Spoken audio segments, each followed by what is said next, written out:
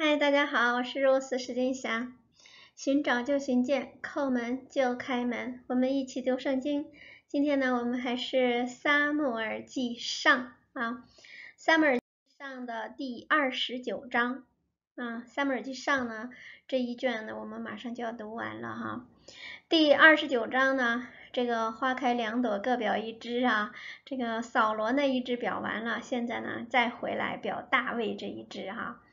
呃，事实上呢，就是在非利士人呢，就是呃安营啊，到啊这个呃与扫罗的军队哈对垒的那个地方之前呢，发生过这样一件重大的事情。我们一起来看，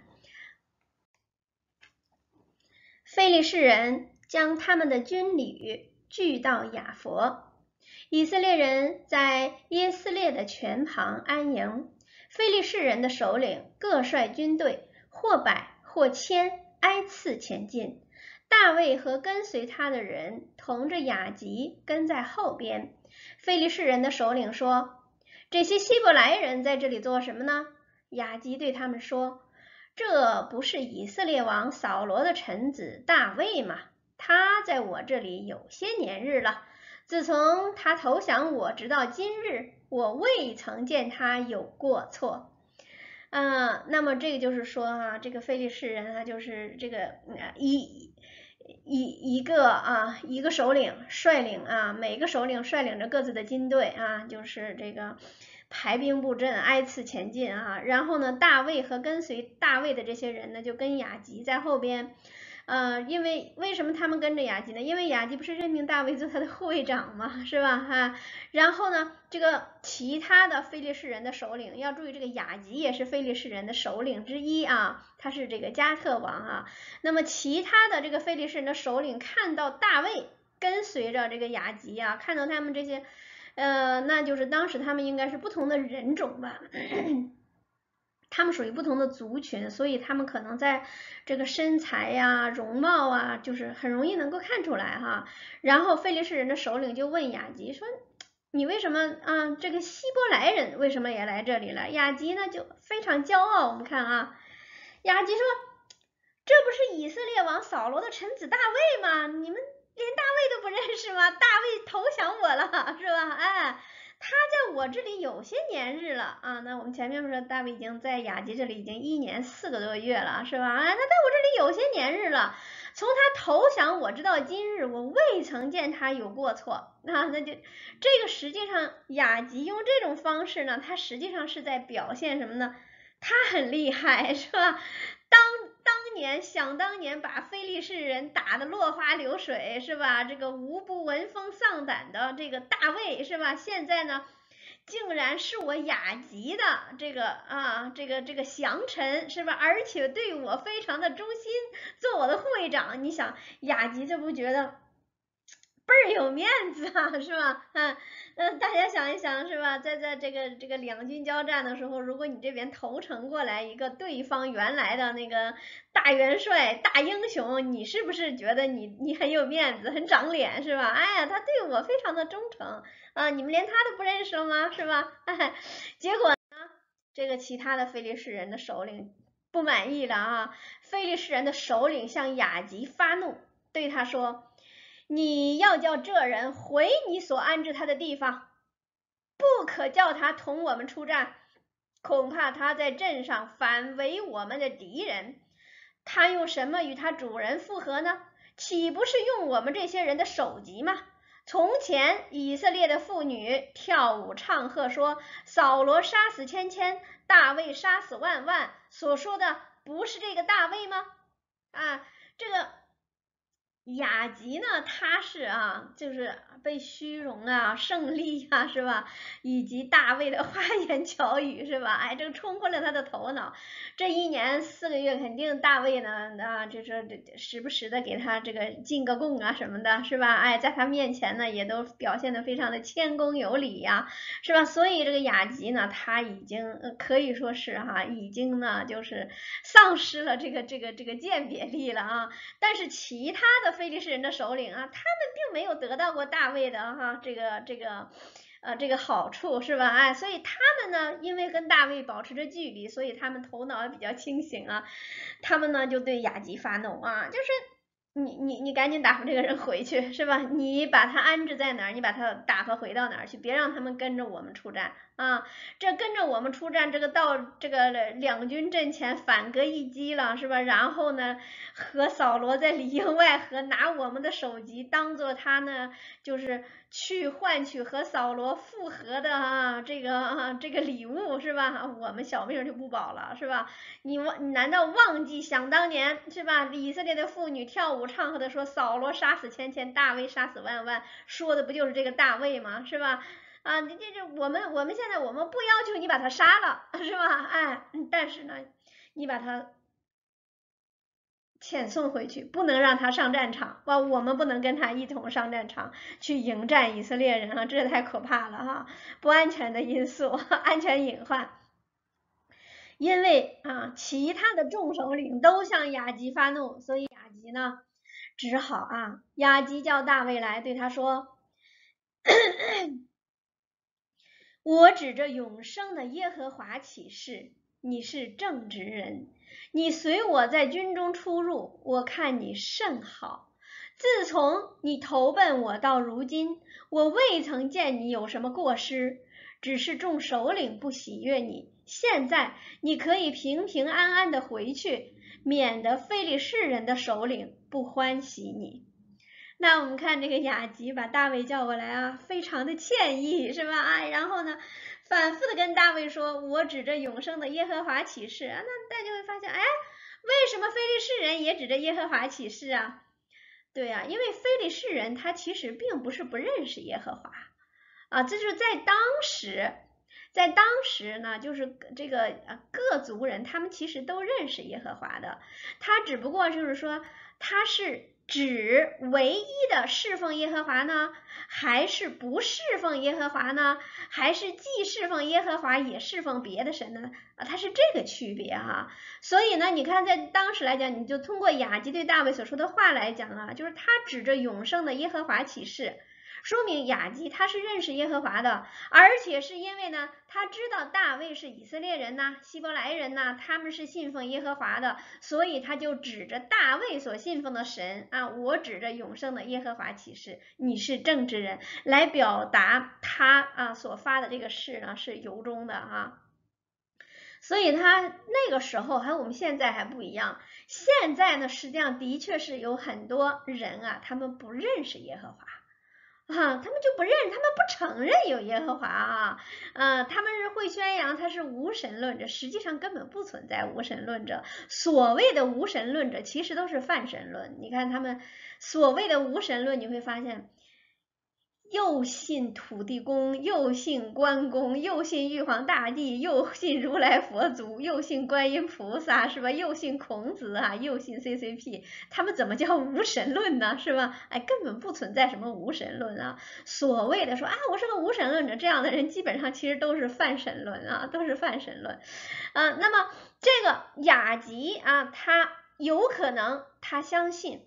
啊，耶和华，但是他不可能只相信耶和华，有可能呢，他也不相信耶和华啊，他也不敬拜耶和华，但是因为他知道大卫是以色列人啊，以色列人是敬拜耶和华的，所以他就在大卫面前发誓，他就说：“我指着永生的耶和华起誓啊，你是正直人，你随我在军中出入，我看你甚好。自从你投奔我到如今，我未曾见你有什么过失。”其实呢，雅吉说的这个话没有错。因为大卫呢，虽然啊在雅吉面前呢说过一些模棱两可的话，但是大卫来到雅吉这里这一年半啊左右的时间，大卫的确没有做过，他没有做过伤害雅吉的事情，他没有伤害过非利士人，他出去呢就是这个他去打那个。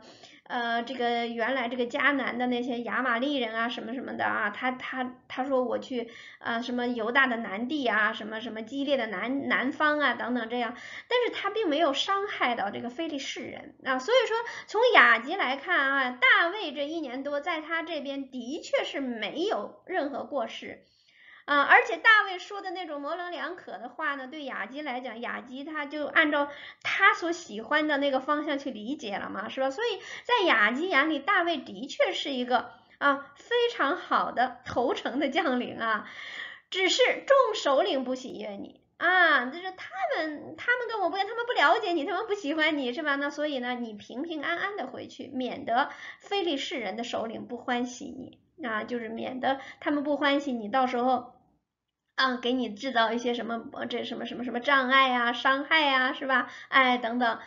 大卫对雅吉说：“我做了什么呢？自从仆人到你面前，直到今日，你查出我有什么过错，使我不去攻击主我王的仇敌呢？”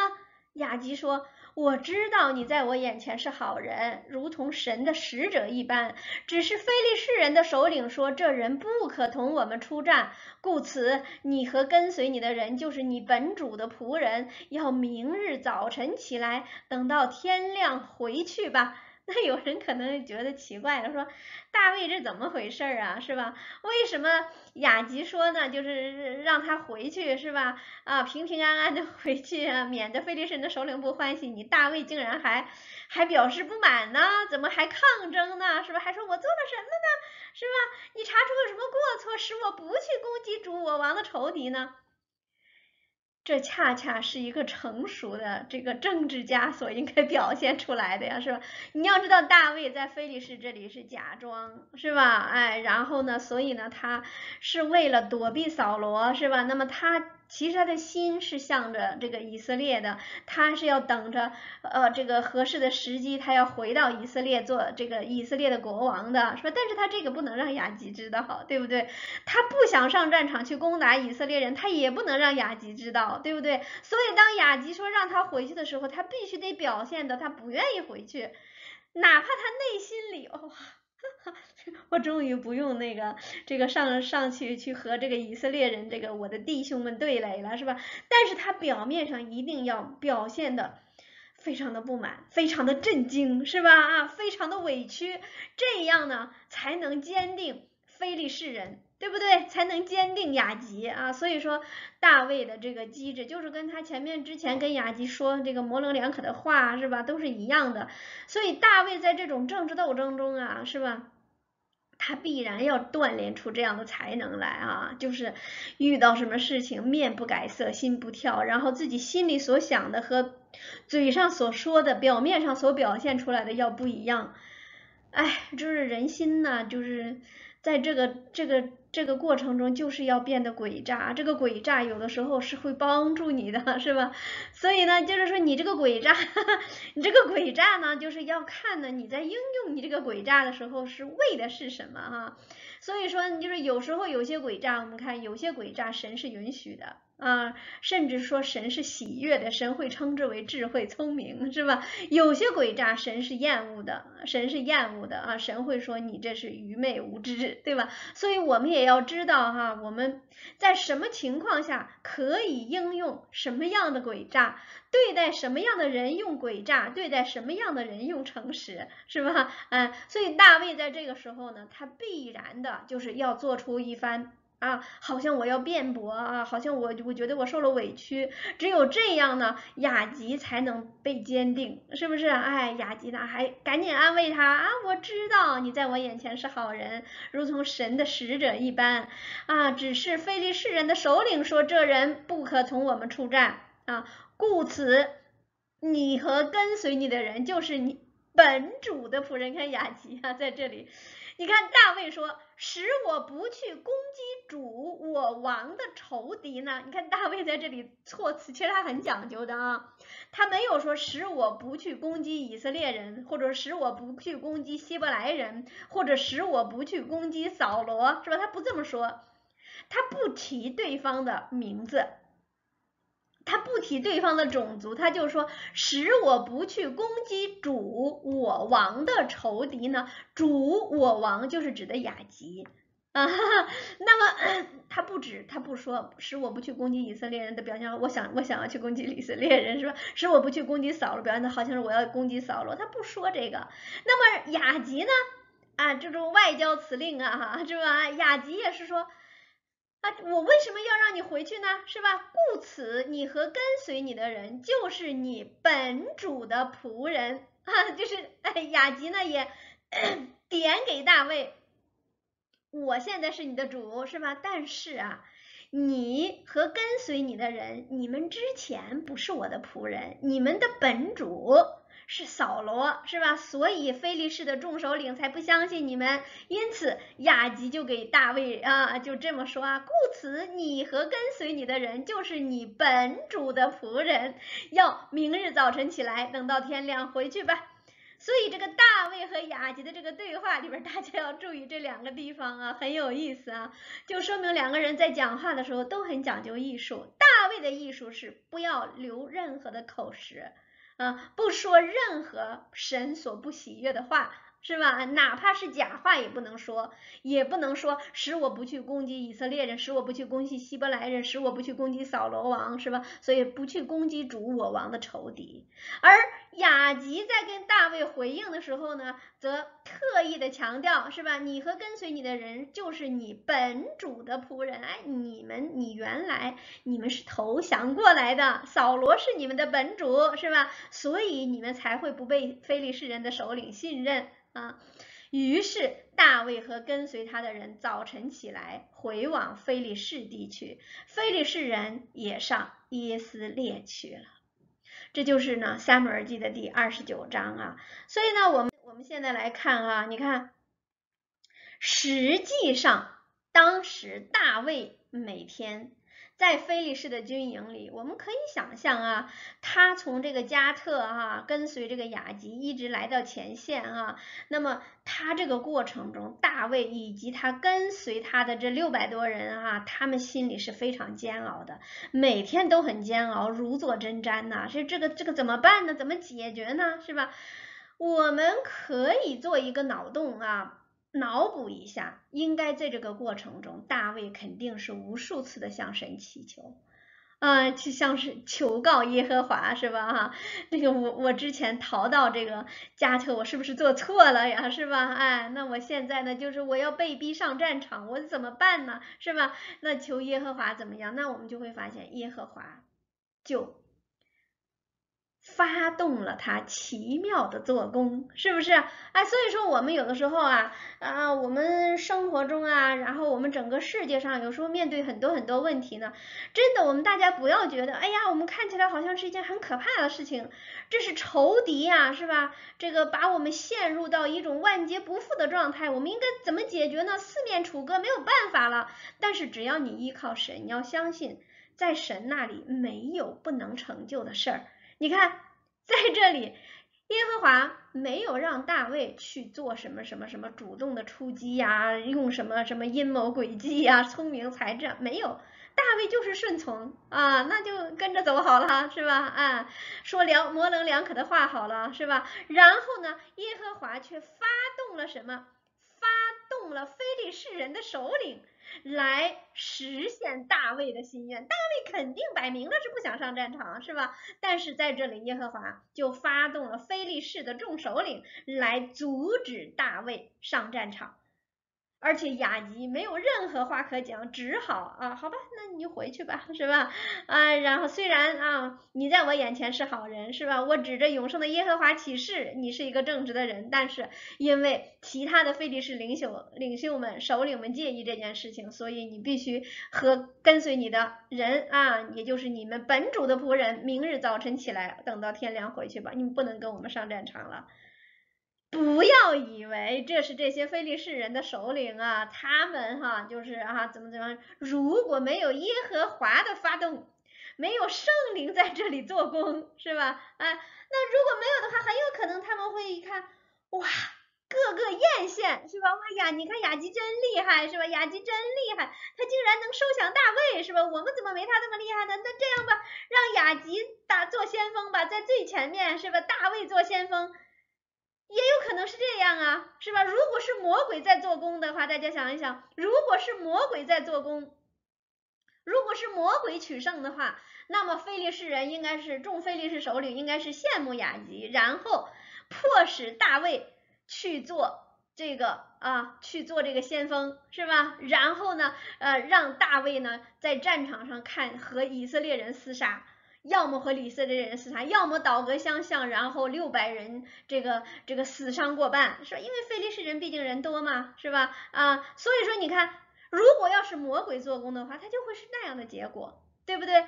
但是我们看这里，很明显是上帝在做工啊，上帝让圣灵，然后呢使。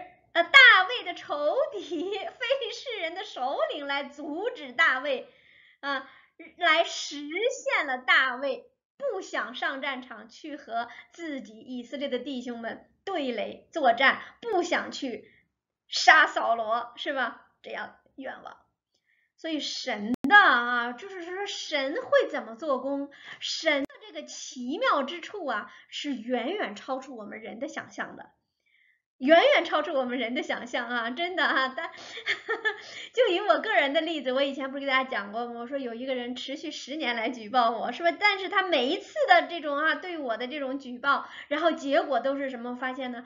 使我在啊为神做工的路上啊，为主啊这个这个做工的这个路上又往前上一个台阶，更加坚定这个意志。所以说神常常就是你不要以为神都是说啊，就是让啊，就是和你一样的弟兄姊妹们来帮助你啊，不，神有的时候啊，甚至常常可能会让你的仇敌，让你的冤家对头，是吧？让人以好表面上是在伤害你，但是你你最后看结果会发现，嗯，竟然是帮助了我，竟然是帮助了神。所以说。你一定要坚定这个信念啊！无论你处在顺境还是逆境啊，无论啊你是呢处于这个啊一一条啊平坦的大路是吧，一马平川，还是走在这个啊这个荆棘小路上，每一脚下去都像在刀尖上跳舞是吧？血染的风采，无论怎样。无论你是呢，就是这个是有很多人和你在一起，还是你一个人孤军奋战，无论怎样，你所遭遇的一切，无论是顺还是逆，只要你依靠神啊，只要耶和华与你同在，是吧？只要你努力的去行在神眼中看为正的事情，那么你所遇到的一切都是万事互相效力，让爱神的人得益处。大家一定要坚信这个啊，一定要坚信这个，要时常的祷告啊，要养成这个习惯。不管你遇到什么事情，你只要觉得慌乱了啊，这个恐惧了、战惊了，是吧？不知所措了，是吧？或者是恼怒了啊，嫉恨了，是吧？骄傲了，啊。啊，得意忘形了，是吧？不管是处于什么样，只要是啊，让你嗯嗯有益于常正常了，那你就首先提醒自己，我要先祷告。啊，其实大卫在逃亡的过程中呢，他常常纪念的就是向神祷告，无论他处于什么样的境界啊。